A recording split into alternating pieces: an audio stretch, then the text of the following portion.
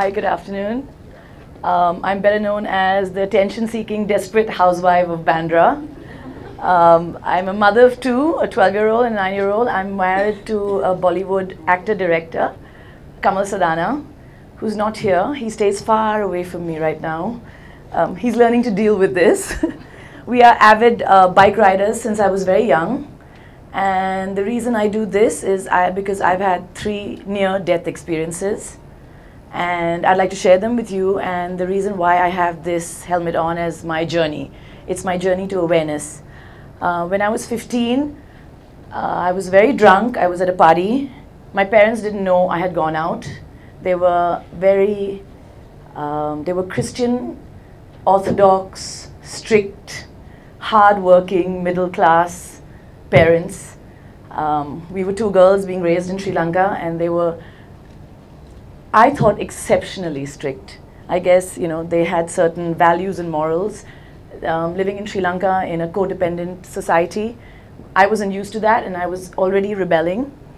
I was a straight A student.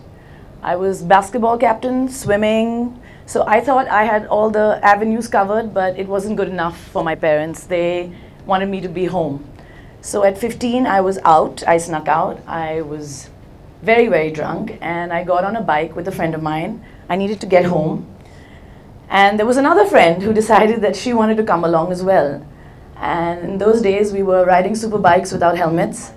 And um, we were riding super bikes without helmets, and the three of us decided to get onto this bike. Of course, at 100 kilometers an hour, we crashed. Um, the friend of mine who was riding, he was also drunk. He broke his leg in three places my friend behind cut her head open in, and had 24 stitches. Um, she had, it's actually, my hands are shaking when I think about it because I was 15 and I can't believe how lucky I was. And um, I was sitting in the middle. Um, I woke up in hospital and the only thing I had lost was um, the blue stilettos that I had and a fingernail. Um, the most frightening thing for me was to wake up and see my father looking down at me, and I was um, mortified of what he would do. But I was grounded for life. I was. I was grounded for life. Um, slowly and surely, that didn't change things. I, um, it should have made me, you know, wake up and smell the coffee. But at 15, you don't know better. I moved to Pune, and at 18, still riding um, still riding bikes. The bikes were smaller.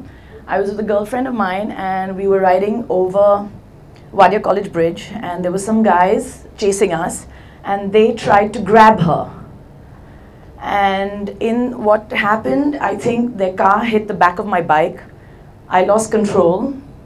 The friend of mine went flying across the road and she only stopped when she hit a pole. I was found dangling um, on barbed wire. It's amazing that when I was asked to talk today and I wanted to relate these stories, but children don't realize um, what we do, what our actions, and how, you know, how it affects other people. Because when I got out of the barbed wire and I saw my friend across lying on the road, all I could think of was, what am I going to tell her mother? What am I going to tell her sister?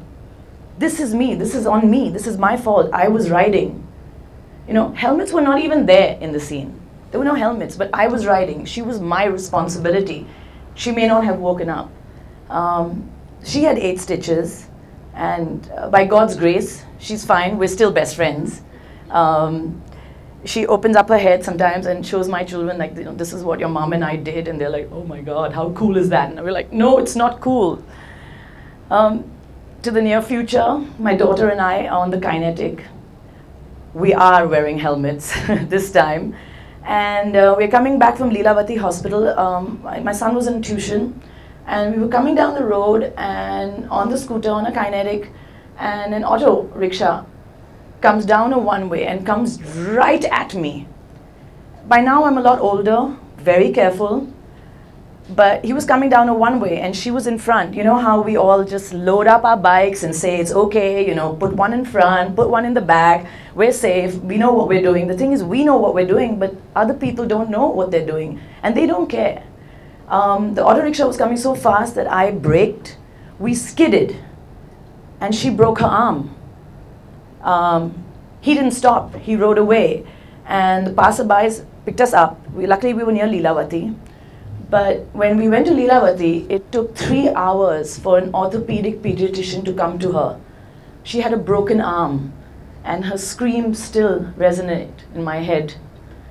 And um, it's amazing, but this whole new avatar of mine came from me buying a helmet for safety. I decided I needed to wear a helmet. I decided I needed to promote it with my children, with my children's friends, people who ride. Um, it's, it's, uh, I can't even explain to you what, if you feel that you're going to lose someone and you're there and you feel that responsibility, you have to be very careful. So I'm going out there, I'm creating awareness with people where it comes to drugs, alcohol, drunk driving, reckless driving. It could be anybody's mother, father, brother, sister. The next time you get into a car, the next time you get into a bike, the next time you do something, be careful. Don't do it because it's peer pressure. Don't do, do it because you want to be cool. I am a living example of the things that I did that went wrong I'm, I'm a living example of being lucky, and I really truly feel that maybe someday somebody you know will not be lucky. Thank you.